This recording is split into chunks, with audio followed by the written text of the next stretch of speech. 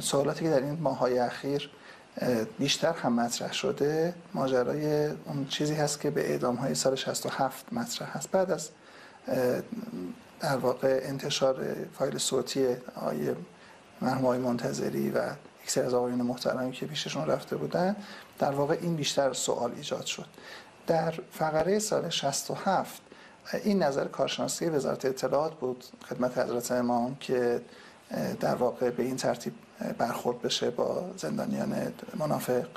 چه اعدامه حالا پس این یه بخشی وقت هم دعوا بود اصلا که آقای موسوی که داستان کل نگارا بود اصلا محاکمه نمی‌خوان و به همین دلیل موسوی تبریزی. آره اصلا محاکمه نمی‌خوان چیزی که داره با ما میجنگی که معنا نداره ما محاکمه بکنیم.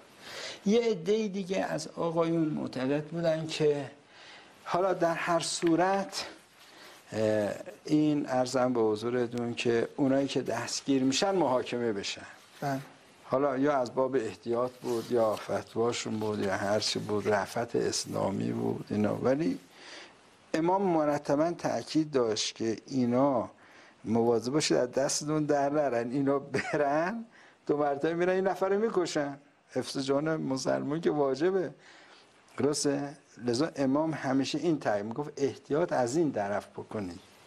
چون, از آره، چون ما در مورد دما باید احتیاط بکنیم. چطوری باید احتیاط کنیم؟ یعنی مثلا اگه شبهه شد کسی کسی رو کشته یا نکشته شبهه هست بنا نکشتن بذاریم. بنا بذار ولی در مورد منافقینشون میگو به عکس. شما اینا من اینا رو می‌شناسم اینا اشد مجازات برسون این اشد مجازات نه نه دستتون در نرن و اینا هم حکمشون همیشه اعدامه این یه اصلا و حکم ولایی ایشون بود.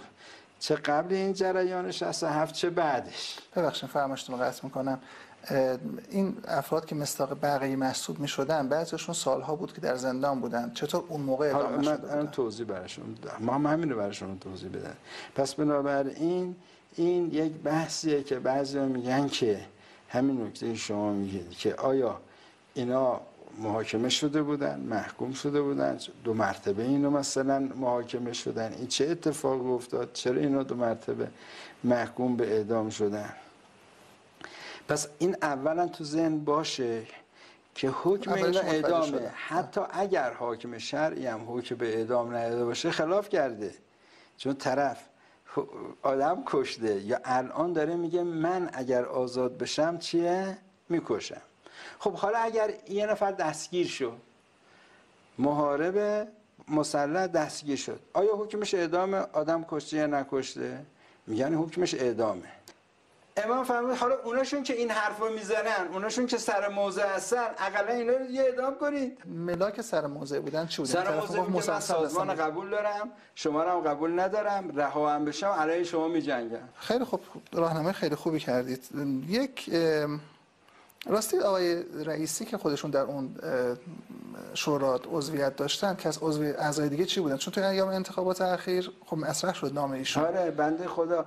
هرچی میگم من حکم نه حکمشون قبلا سال اصلا چیزی گوش بر می‌داد می‌گفتن شما و فکرم که اونا حالا بیگناه هم خب اونا آدم کشته بودن. حکمشون این بود. اصلا محارب بودن. اگر ما اونا رو نمی‌گفتیم می‌کشیم که یک کشوری نبود مملکتی نبود. این حرف من نیست حرف امام حرف همه بزرگانه شما که فهمونید که این افراد که اعدام نشدن. اینا که آره. با حکم سانه اشکال آقای کجا بود؟ آقای آقای منتظری یک مسئله دیگه براش پیش اومد که با امامم اختلاف پیدا کردن. ابتدا هم آقای منتصری هم نظرش همین بود. و یه نظری پیدا شد که این اعدام ها نهایتا باعث میشه تاریخ علیه ما قضاوت کنه علیه اسلام قضاوت بکنه. بنابراین ما خوبه که این کارو نکنیم که بعدها قلم به دست دشمن میفته ما رو اینجوری خلاصه لجمال نکنه. که امام میفرمود که نه شما وظیفه شرعی رو انجام بدید منتظر قضاوت تاریخ نباشید. از این بحث می‌خوایم رد فقط من برای اطمینان خودم می‌خوام بپرسم که همه کسانی که اعدام شدن با اسلحه دستگیر شده بودند یعنی شورش مسلحانه کرده بودن؟ همشون شورش مسلحانه کرده بودن. ولی افرادی که دست میگم خیلی هاشون خونه تیمی بود. ما می‌رفتیم اونجا. مثلا یکی دو تا اسلحه بیشتر نبود. یا تو خیابون مثلا میگرفتیمشون. اسلحه نداشتن خیلی خب این. چطوری می‌شد مستاق شورش خب مسلحانه اینا جزء اون سازمان بودن.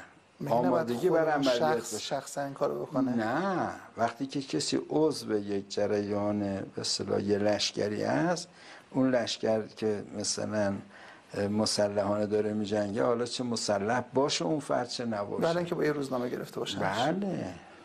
اینا جزء اون سازمان بودن دیگه. این آمادگی عملیات داشتن. حالا یک کسی ممکنه بره امروز برای این خونه تیمی نون بخره. یکی بره مثلا فرض کن امکانات دیگه تهیه یا اصلا بکنه نیروی عملیاتی نباشه نیروی تبلیغاتی ولی باشه بالاخره جزء ایناست. برای یه یگانی که میجنگه همه چی داره دیگه. همه که فهم اسلحه ندارن. درسته؟ واحد تدارکات هم دارن دیگه. اینا اسیر محسوب نمیشن نه.